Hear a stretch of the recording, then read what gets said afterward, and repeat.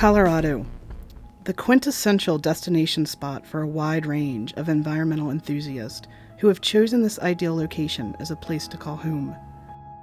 With majestic views of the Rocky Mountains from just about any area of town, it is easy to understand why people would want to protect its beauty.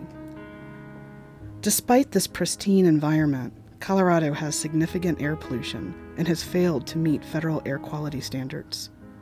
In summer 2012, up to 40 ground level ozone warnings were issued that urged residents to stay indoors.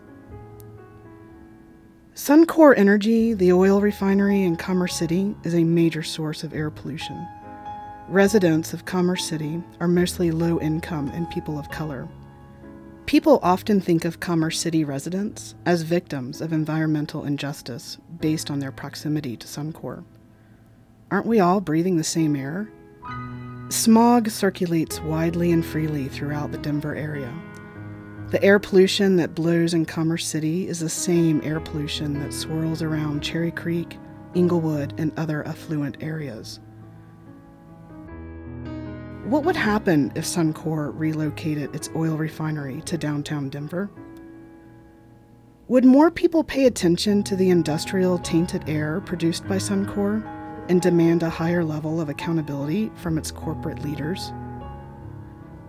Citizens would organize and demand safer emissions. Or would they? There is little difference between the level of air pollution experienced in Commerce City and the level of air pollution experienced in different parts of Denver, like Capitol Hill and Congress Park. All people living in and around the metro area face the same amount of risk due to exposure. Based on our shared risks, we should engage public health officials demanding better health protections regardless of our zip code differences.